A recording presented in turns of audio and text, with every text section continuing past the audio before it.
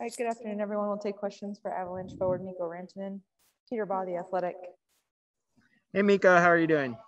Good, thanks. Good.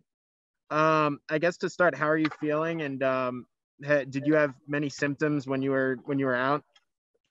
No, I, I was asymptomatic the whole time. Uh, yeah, it was a obviously long quarantine for me. It was nine nine days, I think. So, but uh, yeah, I didn't have any symptoms, so I, I think that was a that was a good thing. Terry Frei, Colorado Hockey Now. How close do you feel that you're to full strength now? Well, yeah, I got I have three practices here. One yesterday, today, and, and one tomorrow, and and then then I'm ready for sure. So uh, feel better every day. Back to Peter Baugh, The Athletic. Sorry, I was getting, I was moving my computer. Um, just looking at your your season so far, um, how would you evaluate kind of your performance, and what are you kind of hoping to improve in this next little stretch? Yeah, I think a slow start, like the whole team, and and uh, for me too, you know, big part of the team, and a little slow start, but then we got going like after after ten games, I would say, and and uh, the game felt pretty good before the break uh, for the whole team and and for me myself too. So so I think we're building in the right direction, uh, the whole team and, and myself too. Terry Frei, Colorado Hockey Now. We all know where hockey ranks on the list of priorities in the real world, all the things that are going on. But how is uns- how unsettling has this long break been, for and uh, the kind of the in and out nature of the guys on the COVID protocols? Can you repeat? I didn't I didn't really catch what's the question. Can In the real again? world, in in the real world, we know where hockey ranks, but uh, how unsettling has all the the COVID protocol absences and and the the delay in getting on with the season? How how unsettling has been for you as a team? Yeah, yeah. Obviously, I think for us and for every team in the league, it's it's uh it's kind of kind of sucks when guys are guys are dropping. You never know when, and and uh, kind of like in Nashville, we had that situation, but but uh, I think we're we're over it now, and hopefully we can we can get going and uh, hopefully almost almost uh, back to normal and keep our uh, lineup uh, healthy. Take two more here for Mikko. Rick Sadowski, NHL.com.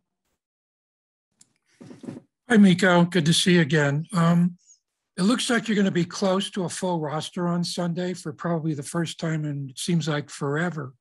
Just pretty excited about that.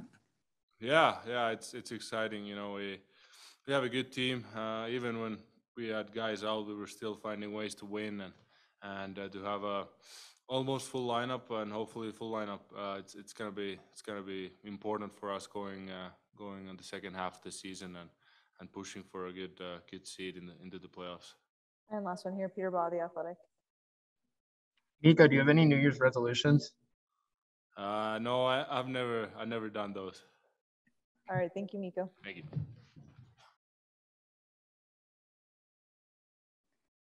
All right, we'll take questions for Avalanche forward Logan O'Connor. Peter Baugh, The Athletic. Hey, Logan, how are you doing? Good, thanks. How are you guys? I'm good. Um, I guess just how are you feeling now, and what was uh, the level of symptoms you had while you were out with COVID? I feel pretty good. Tried to, you know, do what I could to stay in somewhat shape over that break. Obviously not ideal, but um, I had a headache for about two days, and you know that's about the extent of my symptoms. So it was pretty mild, um, just common cold type uh, symptoms for me. Terry Frei, Colorado Hockey Now. How did it feel on the ice today? How close are you to being back at full strength? You think?